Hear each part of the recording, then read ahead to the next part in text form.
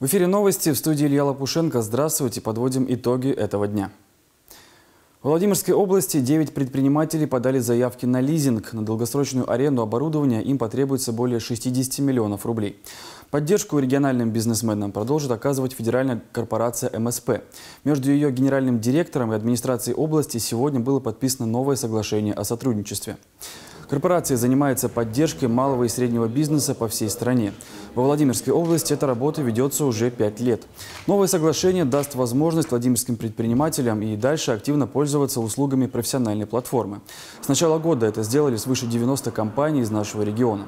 Большинство обращений связаны с получением кредитов. Объем поручительств от госкорпорации составил 545 миллионов рублей. Если мы говорим про те компании, которые получили поддержку, то их порядка 150. Это они делятся на две части. Те, кто получили гарантийную поддержку, те, кто получили э, возможность льготного кредитования. Есть другая, другое количество компаний, которые также дают обратную связь по тому, что работает, что не работает. Благодаря работе с корпорацией администрация области реализует важный аграрный проект «Фермерский островок». С помощью него бизнесмены имеют возможность размещать свой товар на прилавках крупных сетевых магазинов. Это особая мера обеспечения продовольственной безопасности 33-го региона. Узнать подробности по льготному кредитованию можно в центрах «Мой бизнес» и у сотрудников профильного департамента. Корпорация МСП на самом деле имеет широкий такой спектр возможностей для финансирования проектов, для представления поручительств, для инструментов для снижения процентной ставки. И проекты разные с э, кредитным лимитом, допустим, 50 миллионов рублей. А есть, к примеру, у нас большие заявки, мы сейчас с ними будем работать. Это крупные предприятия по переработке молока или, к примеру, той же самой значит, технической конопли.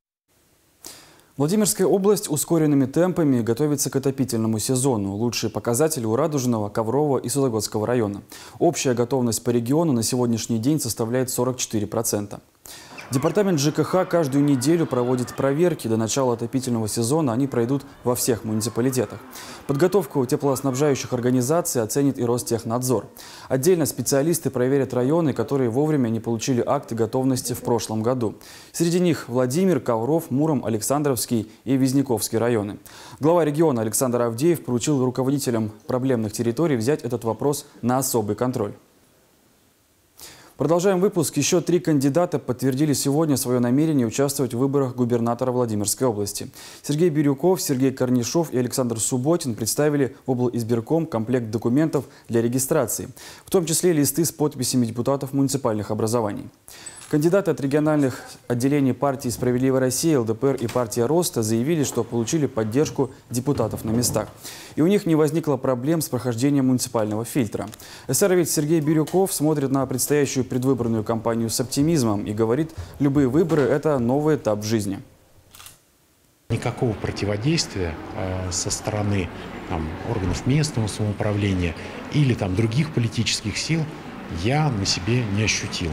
То есть все, к кому я обращался за просьбой поддержать мое выдвижение э, из муниципальных депутатов, никто не сказал, что извини, но мы это из другой партии или там нам какие-то указания. Э, всегда шел нормальный диалог. ЛДПРовец Сергей Корнишов вместе с командой единомышленников провели серьезную работу, результатом которой стали необходимые для его окончательной регистрации в качестве кандидата в губернаторы 132 подписи народных депутатов из 19 территориальных образований. Проводилась э, такая целенаправленная работа с депутатами, в первую очередь от ЛДПР, от других политических партий и самовыдвиженцами. Поэтому муниципальный фильтр, можно сказать, что пройден. Проехали практически все муниципальные образования, тем самым собрали 132 подписи. Кандидат от регионального отделения партии «Роста» Александр Субботин назвал этап сбора подписей депутатов непростым. Но он понимает, что борьба только начинается, и конкуренция – это хорошо. Когда много кандидатов, избирателю есть из кого выбирать. Не выигрыш а, или выигрыш даже, а, победа на выборах – это огромный опыт мы его получаем, мы его трансформируем в результаты. И, соответственно, конкурентная борьба – это очень нужный и важный элемент избирательных кампаний.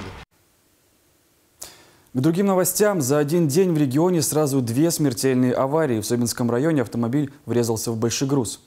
Как сообщают госавтоинспекции, 60-летняя женщина за рулем Митсубиси выехала на встречку и столкнулась с грузовиком. От полученных травм она скончалась до приезда скорой помощи. Водитель большегруза не пострадал. Еще одна смертельная авария произошла в Гусь-Хрустальном. На улице Калинина 17-летний подросток на мотоцикле выехал на встречную полосу, не справился с управлением и наехал на бордюр. В результате упал с мотоцикла и ударился головой о столб. Подросток скончался на месте. По информации полиции, у юного водителя не было прав и мотошлема. В месяц около 500 рублей. Столько жителей поселка Ставрово Собинского района платят за холодную и горячую воду. Люди недовольны ни тарифом, ни качеством воды. Из кранов она течет с едким запахом и ржавая. Приготовить еду или постирать белье невозможно. В борьбе за свои права и здоровье ставровцы потеряли надежду. Что делают местные власти, чтобы решить коммунальную проблему, выясняла Наталья Забнина. Запах Ой, запах. Такую воду пить совсем не хочется. Не то что людям, даже животным ей брезгуют кошки. Я ей меняю каждый день. Она и то иногда даже не хочет ее пить. Светлана Анатольевна, пенсионерка, таблетки запивает водой из кувшина. Вон вода, ее сразу видать. Видите? Фильтра хватает на месяц, а вот еду женщина готовит на покупной воде. Отдает 4 рубля за литр. Спецавтомат рядом с домом. Им пользуется и Андрей. Чтобы просто-напросто не навредить своему здоровью или просто не отравиться. Повод для осторожности есть. Ставровцы сделали независимую экспертизу. Заключение в воде зашкаливает уровень мутности и железа. Но и это не все. И у нас была калиформная бактерия. То есть это серьезное такое, да. Вот, но когда уже была официальная калиформная бактерия, выявлено не было. То есть, ну, как мы общались, калиформная бактерия – это канализационная палочка. Это значит, система водоочистки не работает, а микроорганизмы, говорят ставровцы, причина инфекционных заболеваний и развития патологии в кишечнике. Чтобы не попасть в больницу, люди ездят на родник, ближайший за 20 километров. Вообще непригодно ни для питья, ни для, для стирки белья. То есть э, противопоказано. Да, да, там и техника портится. Два, два раза а, платим. Да, да. Я, берем и там платим. Я и говорю. И приличную сумму в месяц около 500 рублей. И за горячую, и за холодную воду. Люди уверены, это несправедливо. В ресурсной компании жалобы услышали. Провели официальную экспертизу качества воды. Она показала, опасных бактерий в ней нет, но есть запах и цвет. Поэтому... Был тариф 33 рубля, сейчас стал 29 с копейками. Нам снизили тариф из-за того, что у нас не было капитальных вложений. Вот. Ну и э, пошли навстречу жителям, снизили хотя бы э, стоимость воды на эти 4 рубля. Потому что жалоб много, действительно, вода э, желает оставать лучшего. Но снижение тарифа ставровцы не ощутили. Плохую воду используют около трех тысяч жителей заводского района. Они живут в 30 домах на улицах Комсомольская, Юбилейная, Школьная и Октябрьская. Свою проверку организовали и прокуроры коммунальщиков. Они обязали сделать людям перерасчет. Ну, надо знать еще о том, что в этих домах живут люди, которые вообще не платят за коммунальные услуги. Естественно, они пока права на компенсацию перерасчет не имеют, пока не погасят все свои задолженности. Причина плохой воды в состоянии центрального трубопровода. Он изношен на 100%. Его заменят капитально на средства нацпроекта. Ремонт обойдется в 220 миллионов рублей. С нормальной водой наши жители должны быть примерно ровно через год. Потому что э, в августе торги, первый этап, первый этап, начнем сразу же работу. Возможно, возможно, что попробуем осень и первые месяцы зимы проколом пройти, дело то, что центральный водовод. Если мы подсоединимся, то к весне качество воды наше должно просто быть заметно улучшено. Качество воды не навредит новому бассейну в Ставрово за 122 миллиона. Ермаков заверил, на сооружение предусмотрена мощная система очистки. Окунуться в новый бассейн ставровцы смогут уже в этом году. Наталья Забнина и Вячеслав Сноровкин. У жителей села Добрынская другая проблема. Они жалуются на бродячих собак. Те забегают на участки, топчут огород, кусают детей и даже убивают домашних птиц. Недавно многодетная семья лишилась семерых гусей. Кто будет отвечать за ущерб и что делать с безнадзорными собаками, узнали наши корреспонденты. Боря. Гусь Боря – один из четырех уцелевших. До нападения собак пернатых было 11. Потерю семи птиц обнаружил глава семейства Денис Кильдичев. Он услышал шум возле клетки и поспешил на помощь, но не успел. Я видел их две собаки, рыжие, они или сестры, или мать и дочь, где-то такие вот, под вид охотничьих. Они меня услышали, я видел, как они по звуку, что они вот отсюда выбегали, туда убегали. То есть какую даже сетку не поставили бы, они все равно подкопались бы. Несколько гусей принадлежали одному из детей. 13-летний Федор купил их сам, откладывал деньги из карманных расходов. Подросток привязался к птицам, каждый день заботился о гусятах, кормил. Когда увидел их мертвыми, упал в обморок. Ребенок не мороженое покупал, а откладывал деньги и дал деньги на четырех гусей. То есть ребенок заводил, он ну, любит животных. И ребенок пришел, когда это увидел, он у меня здесь потерял сознание.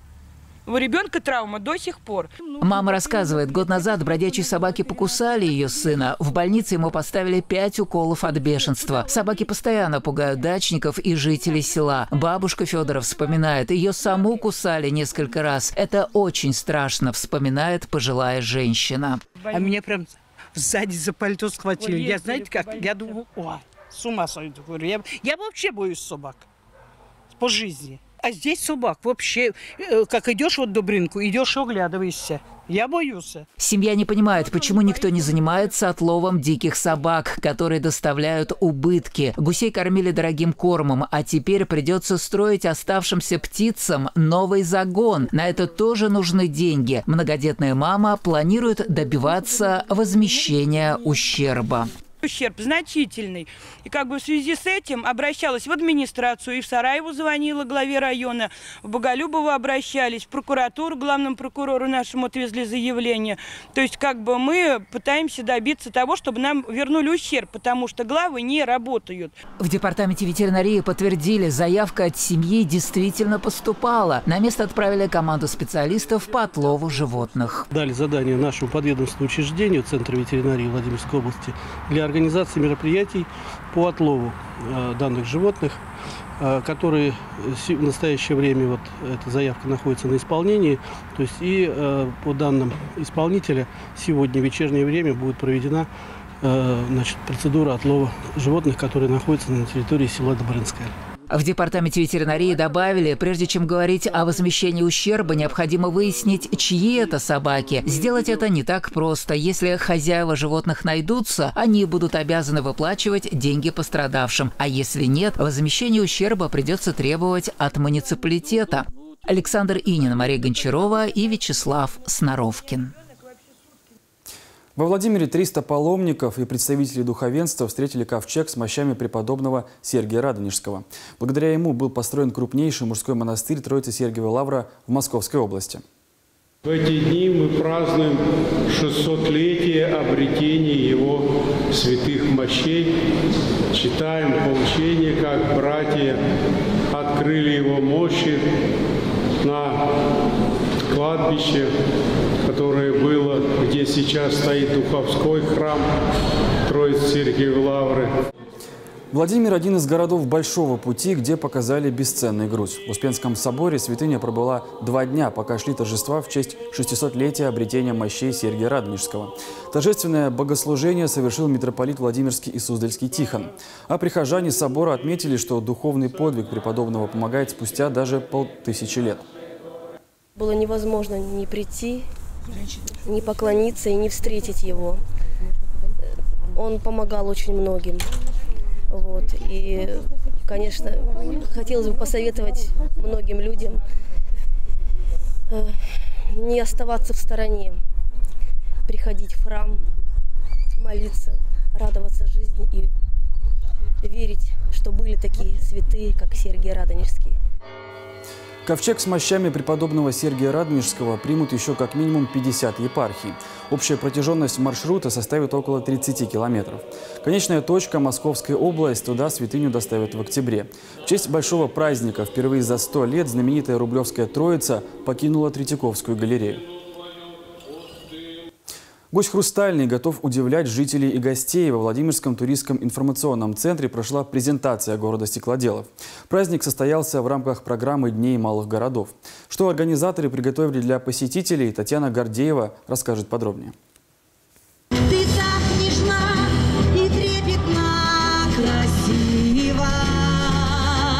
Забавные гуси на Большой Московской танцуют и развлекают прохожих. Такой креативный ход придумали жители Гусь-Хрустального, чтобы пригласить гостей на праздник в честь их родного города. Идея сработала, пройти мимо было трудно, рассказывает Елена. Во Владимир женщина приехала из Москвы и с удовольствием приняла участие в мастер-классе, который подготовили гусевские мастера. Сделали барельеф гуся, но не хрустального, а из соленого теста. Вот у нас получились такие пеликаны, фламинго, ну, в общем, птицы счастья. Вот очень удачно мы зашли. Так что спасибо огромное организаторам. Город в гостях у города. Это прекрасная, мне кажется, такая традиция, вот познакомиться и потом, может быть, еще продолжить знакомство уже на месте, приехав туда. Познакомиться со столицей Стекольного края можно было в туристском информационном центре. Каждую субботу здесь проходят Дни малых городов Владимирской области. В день гусь хрустального для детей мастер-классы по бисероплетению, лоскутному шитью и батику подготовили преподаватели школы искусств имени Балакирева. Необычный сюрприз сделала и местная предпринимательница. Участники мастер-классов трудились, и потом после того, как натрудились, с удовольствием едят вот такой замечательный торт. И булочки, и торт с гербом нашего города, символом с гербом нашего города сегодня вот является таким замечательным угощением. Важнейшая часть презентации «Гусь Хрустального» – рассказ о стекольном производстве и мастерах-стеклоделах. Именно их нелегкий труд прославил район и город. Понимаете, каждый день приходить и, э, значит, приходить и работать со стеклом, это значит все равно, что работать со стихией. Это стихия. Стекло – это стихия, которая, э, значит, у которой температура достигает 1450 градусов. И поэтому человек должен быть сам по себе интересен. Мало того, что он сам по себе интересен, э, он еще и творчески инициативен. Туристский информационный центр оснащен современным оборудованием, например, цифровыми панелями. На них можно узнать, где остановиться в городах области и как провести свободное время. По мнению директора центра, Дни малых городов – хороший способ в неформальном общении познакомить жителей и гостей области с их культурой и традициями. Все это э, несет в себе такие, знаете, э, индивидуальные особенности каждого района и э, показывает отношение своих людей к своему делу. Они очень любят свое дело и готовы им делиться и опытом и рассказывать на мастер-классах и показывать это. В следующую субботу на площадке туристского центра свой город представят жители Вязников. На очереди Киржач, Петушинский район и Юрьев Польский. Татьяна Гордеева и Сергей Власов. И о спорте юные владимирские футболистки завоевали путевку в финал первенства России. Соревнования прошли в Ярославле. Владимирская команда спортшколы Олимпийского резерва по футболу стала победителем первенства ЦФО среди команд девочек до 13 лет. Лучшим игроком признали Василису Червякову. Сборная Владимирской области стала сильнее своих сверстниц из «Золотого кольца», тем самым получила путевку в финал первенства России. Серебро там же в Ярославле среди девочек до 17 лет получили старшие воспитанницы школы Олимпийского резерва. Они уступили команде «Шинник» из Ярославля со счетом 0-2. На этом у меня все. Спасибо, что были с нами. Давайте делать новости вместе. Если у вас есть интересная история или нужна помощь, звоните к нам в редакцию по телефону 32 62 33. я с вами прощаюсь. Далее в эфире программа «Здесь и сейчас». Ее ведущая Екатерина Старикова уже в студии. Екатерина, добрый вечер. Добрый вечер, Илья. О чем сегодня говорите с гостем? А сегодня у нас пройдет прямая линия с исполняющей обязанности директора Департамента культуры Владимирской области Ольгой Деминой. Увидимся сразу после рекламы, не переключайте канал.